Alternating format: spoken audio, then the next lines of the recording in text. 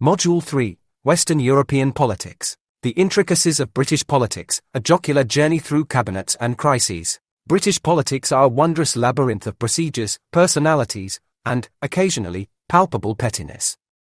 In this chapter, we'll embark on a whimsical wander through the hallowed halls of British political power, with a special focus on a particularly spicy episode, the saga of Nick Clegg and the boundary changes. Strap in, it's going to be a bumpy, yet enlightening ride. The Clegg Conundrum, blocking boundary changes. Our tale begins with Nick Clegg, then Deputy Prime Minister and leader of the Liberal Democrats. Mr. Clegg found himself in a bit of a pickle when the Conservatives, his coalition partners, decided not to back reforms to the House of Lords. In what can only be described as a political tit for tat, Clegg, feeling the coalition contract is broken, retorted by blocking changes to parliamentary boundaries, a move that was seen as beneficial to the Conservatives. This political maneuvering illustrates the intricate dance of power and compromise inherent in the British political system, especially under a coalition government. It's a system where decisions can hinge not just on policies, but also on personal and party dynamics. Comparing cabinets, Britain versus the United States. Moving on to a transatlantic comparison, let's ponder the British cabinet and how it stacks up against its American counterpart. In the UK, cabinet members are usually members of parliament, chosen by the Prime Minister. They are often appointed from the ruling party or, in the case of a coalition, parties. These appointments are as much about political acumen as they are about expertise in a particular field. On the other side of the pond, the US President nominates cabinet members who are then confirmed by the Senate. These individuals are often experts in their respective fields, with less emphasis on their political clout. Interestingly, they don't need to be members of Congress and, in fact, often aren't. Responsibility wise, British cabinet members are responsible for specific government departments and are accountable to Parliament. They need to navigate the party politics of Westminster, ensuring they maintain support within their own ranks. In contrast, US cabinet members are primarily advisors to the president and heads of their departments, focusing more on administration and policy implementation than on legislative maneuvering. The intricacies of French politics. The agricultural paradox. France, known for its rich cultural heritage and influential political history, presents a unique paradox in its agricultural sector. It's intriguing how the vineyards of Bordeaux and the wheat fields of Normandy hold more sway in the political arena than in the economic ledger. This situation is akin to an old aristocrat who has lost much of his fortune but retains a significant influence in societal affairs. The agricultural sector, while not the titan it once was in economic terms, still possesses a strong political voice, reminding us of the saying, old habits die hard. The unique case of union membership. Moving to the realm of labor unions, France dances to a different tune compared to its industrialized counterparts. In a peculiar twist, union membership in France is notably low. It's as if French workers treat union membership like the French treat fast food, widely known but not widely embraced. This low unionization, contrary to expectations, doesn't translate to a weakened labor movement. Instead, it reflects a unique aspect of French society, where influence doesn't always correlate with numbers. Women in politics, a rocky road to representation. The representation of women in French politics is a story of unfulfilled potential.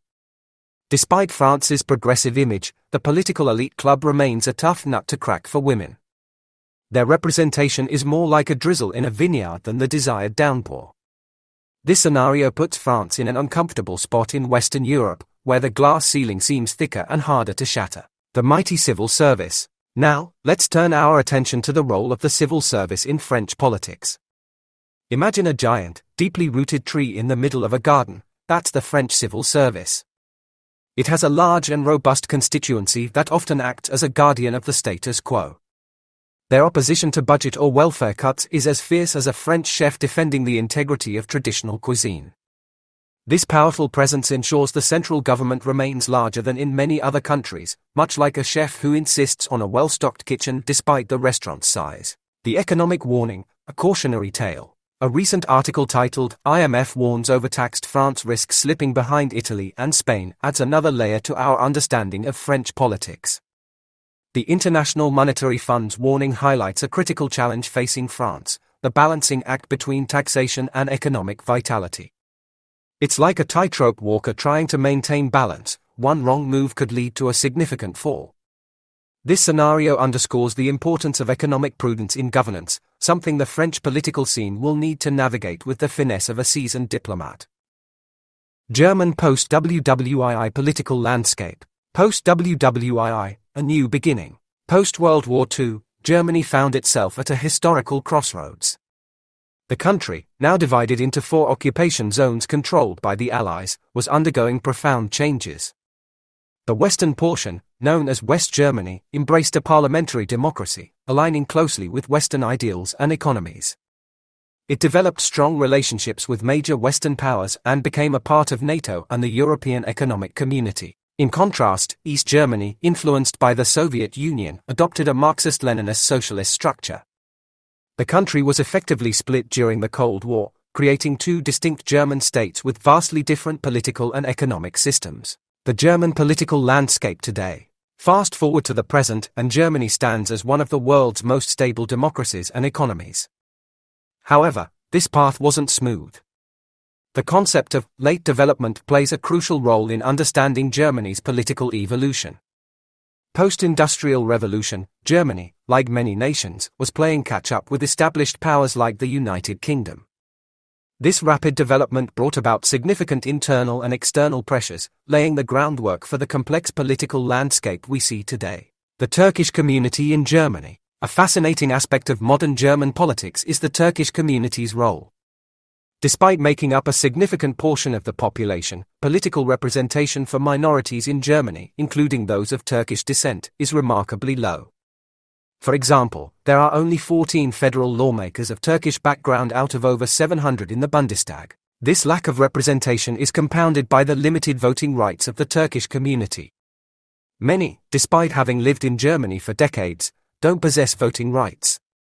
This situation has led to a feeling of disenfranchisement and has significant implications for the political engagement and representation of the Turkish community in Germany. Implications and influences. The impact of Germany's historical trajectory on its current political system is profound. The lessons learned from its rapid development, the scars of the two world wars, and the division during the Cold War have all contributed to shaping a political landscape that is both resilient and adaptive. Furthermore, the situation of the Turkish community in Germany underscores ongoing challenges in minority representation and integration. It highlights the complexities of navigating a multicultural society within a democratic framework.